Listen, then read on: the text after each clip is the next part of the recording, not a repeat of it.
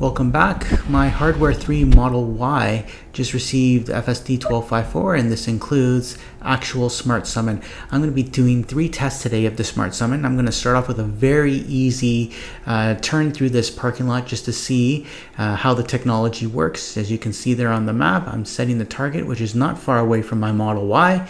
The blue dot is where I'm standing right now so I can clearly see the car in front of me. And again, this is my uh, first shot here at actual Smart Summon so uh, I'm a little bit cautious and I would assume many of you who are going to be using this technology are going to be very cautious the first time as well. Let's see how it goes.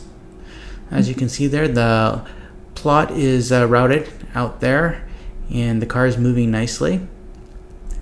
Nice slow turn there. You can see on the screen, it's nice and smooth, very simple. Again, right now what I'm just testing out is uh, does this technology actually work? And I don't want to do it in too busy uh, a parking lot. You can see me standing there right now. Uh, it's working perfectly right now. So I can already tell uh, first blush here that this technology is working really well. So what I'm going to go do is uh, go to a busier area in this lot and uh, try it out again. Okay, as you can see now, I'm, I'm going to be leaving from the same location, but this time I am walking uh, much further away. There's more cars out there as well, and we're going to be doing two or three turns this time. So again, just progressing to a, a more of a trickier uh, summon scenario, something you might see more in a parking lot if you're uh, getting out of the mall at, at a faraway location. All right, activated there. You can see on the screens, no pedestrians, no issues. Nice good turn there. Okay.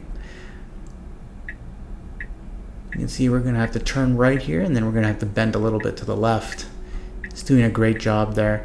And again, where I'm standing right now, I can see the car coming towards me. So I've got my eyes on it, just making sure. Again, no pedestrians walking in front. Again, we're going to be doing a left turn here, and then we're going to have to do a quick right turn. Car slows down appropriately. Looks to see if there's any other oncoming vehicles. No issues. Now it's going to do a little slight bend here to the right, and then it's going to have to do a sharp right turn. Great job. You can see on the map where I'm standing. It's doing fantastic, fantastic job right now. Turning right. And there you go. There you see me again, right there standing. Another great job. Two out of two. All right, let's try something a little bit trickier now. All right, in this scenario, I've gone to a busier parking lot. If you see the storefront in front of you with the blue sign, that's where I'm standing right now. So I'm many rows away right now.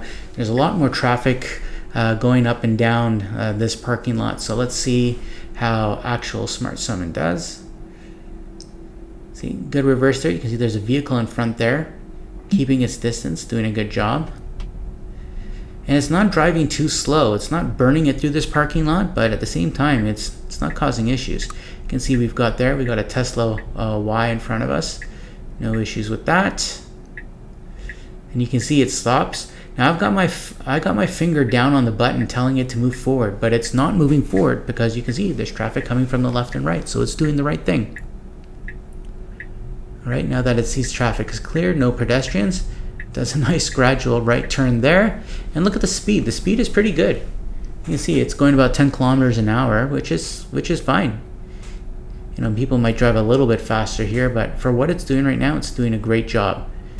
And you see it's coming towards me. It's doing the bend around a corner. Usually there's a lot of traffic coming through here, but right now it's empty. Perfect. Well, there you go. I mean, this was a trickier scenario. So I think, you know, again, for the first three goes at actual Smart Summon, it uh, passed with flying colors.